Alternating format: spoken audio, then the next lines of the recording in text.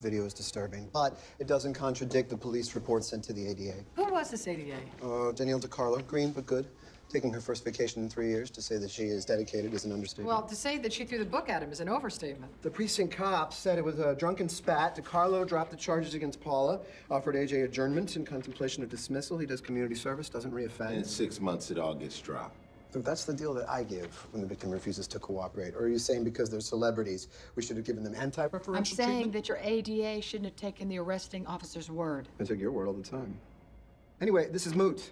The deal was offered, the lawyer said no. They turned down a get out of jail free card. Why? It's a smart move. AJ called the ADA's bluff. He just assumed that he'd get away with it regardless. What, he's probably worried about PRs, trying to avoid community service, so great, he gets away with everything. Everything, look, there's not a lot here. Any footage from the stairwell? Amaro and Rollins are tracking it down.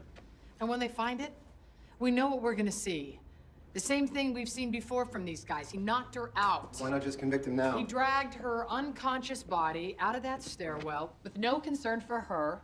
And then she says she slipped and fell. Come on. In certain ways, I don't disagree. I hate it when people say that. Since he didn't take the offer, the case is still open. Find the video or get her to change her story. We'll see where we are.